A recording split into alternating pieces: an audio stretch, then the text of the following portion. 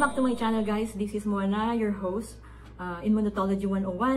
And please don't forget to subscribe, like, and comment on my video para po matulungan kaming mga voluntary ni Lenny na mga video creators para po uh, ganahan naman kami para maghatid po sa inyo ng mga kwento at mga updates. Ngayon po, ang ikukwento ko ay yung mga nagpa-viral na video ngayon ni Lenny na paninira sa kanya.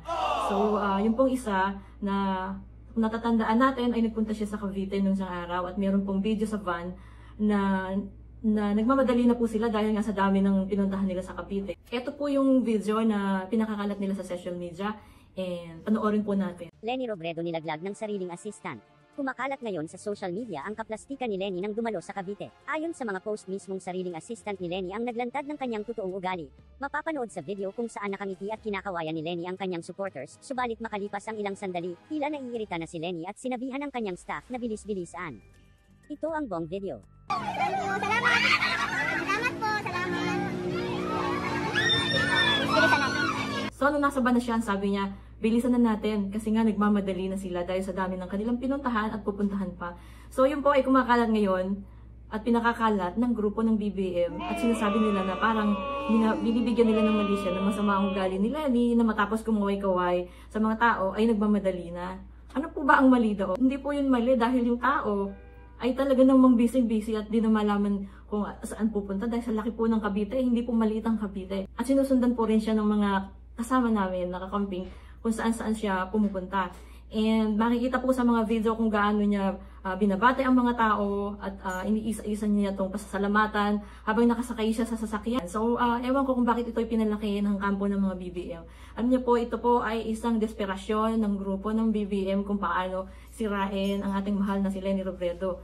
Uh, and uh, kasi nga, dito sila sanay sa mga fake news. Kung natatandaan nyo yung mga pinakakalat nilang picture sa social media, yung mga fake na picture, mga fake na na, na video, na pati yung mga picture ng mga realista na nakapula, na mga kakilala ko, ay ninakaw nila para po ipakita na napakaraming sumasama sa uh, protest ni, uh, ni Bongbong Marcos. So mali po ito, mali po ito. Huwag po sana natin tong payagan na mangyari at huwag sanang patulan at gisingin natin yung ating mga kababayan na hello, mali ito, hindi natin dapat uh, ginagawa ito na mameke ng mga photo at videos.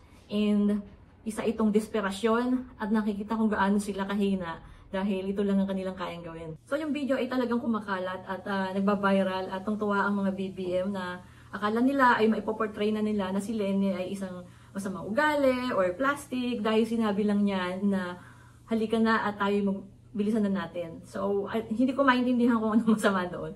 So natatawa na lang po kami doon sa viral video na ito na pangitang-pangita kung gaano kababaw ang ating ilang mga kababayan dyan na sumasamba. Tandaan niyo po, you cannot put a good woman down. So, lalabas ang katotohanan kung sino talaga ang may problema at kung sino talaga ang mabuting tao.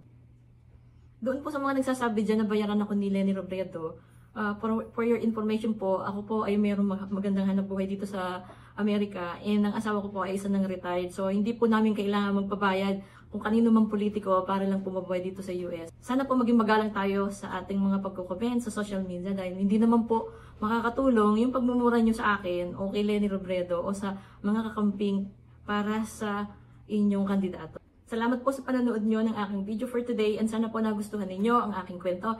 And sa inyo, sa lahat ng aking mga kaibigan, mga kakamping, saludo po ako sa inyo and pagpatuloy po natin ang ating laban.